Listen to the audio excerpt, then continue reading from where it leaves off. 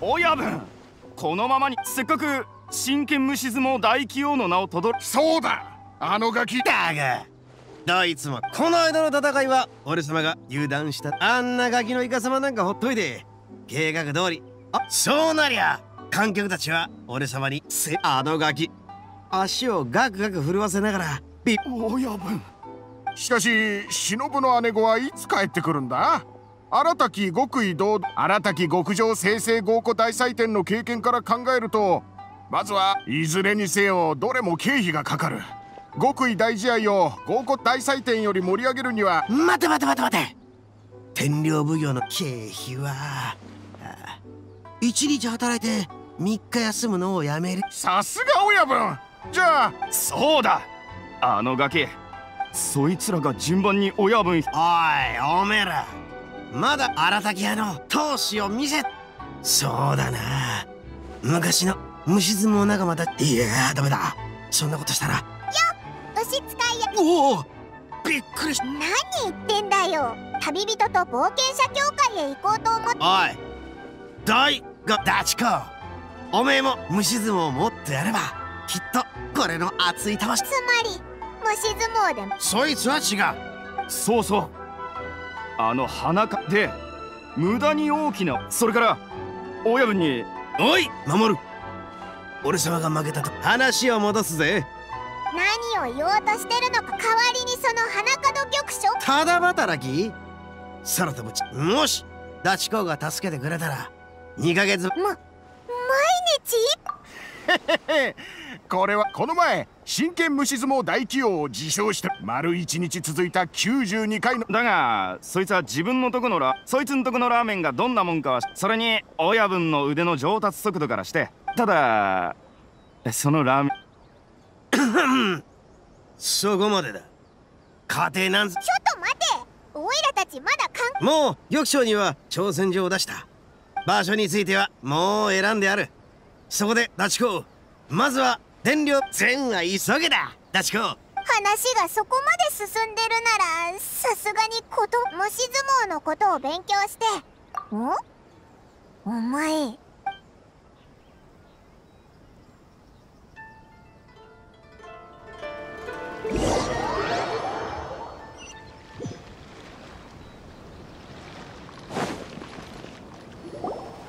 悪くねえ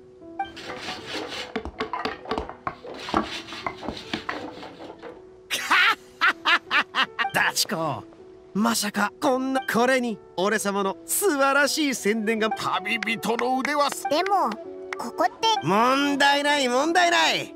姿の彩りさ。さて次はお前らに。おお本当に赤色の牛使い野郎案外頑張もっと近くでへっ好きに。あれ？なんか階段？ききのそういえば親分威嚇塗装の方心配いられって。新たき極意堂々虫相撲大試合はお前らはまずチラシを準備して客がしそんで一緒へえお前らけ出た!花門魚そんなバカな!と。真剣虫相撲大器を忘れたのかい?まさか俺たちとどう戦えばいい?な何バカなこと言ってんだ?ただ単に。あこいつが牛使いなんか言葉遣いが独花門玉将だがすぐ。ほう。しょっぱなから任してもつまらはこうそれじゃ。おおっと待てよ。よし。空をかける。白鉄ちびすけ。えなんでおいらが？親分もうまだ試合の宣伝もできてない。しそうだった。虫相撲のコツは俺さひどいぞまだ白鉄ちびすけ荒滝屋のそれにお前に先陣を任せたのは我が陣営の最弱をお前には確かにそんなヘナチョコを先に行かせて。でもそれだとお前ちちょっと待て。そうなるのか？ううるせえ。分かった分かった。よく見てろよ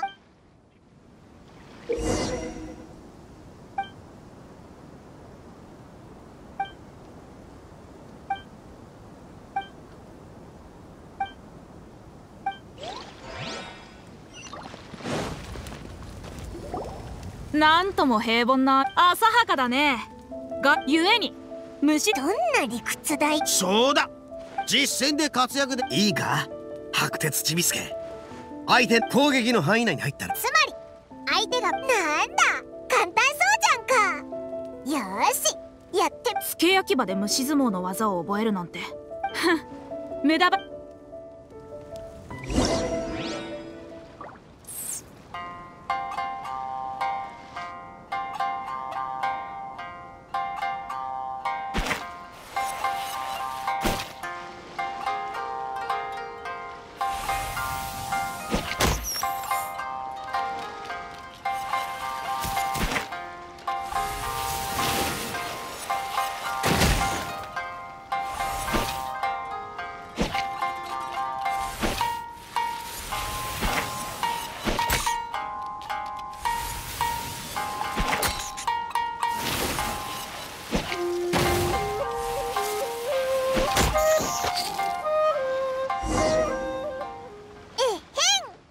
ちびすけ最高！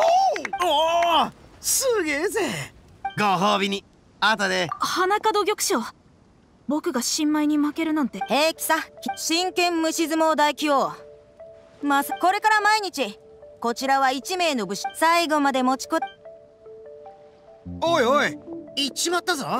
いきなりあら。あいつらの話だと。そういうこった。どうやらまあ雰囲気さっきはまだ虫相撲の影。まさか。当時親分でも敗れたからこそ。こはどう真剣虫相撲大器用俺たち3人で力を。それぞれの相手だとなんだか本題でもさっきの戦いはなかなか良かったな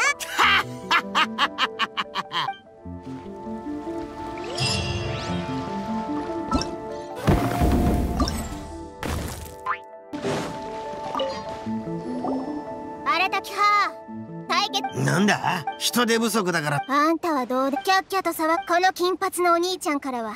つわものの風格がにじみてひひああ？な？俺様のダチ公は確かに強えが。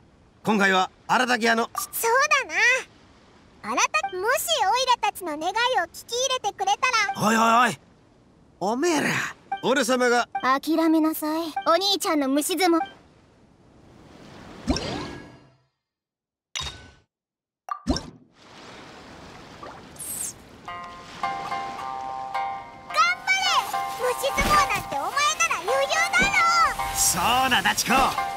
俺様と白鉄ちびすけを教えたコツを思い出せ。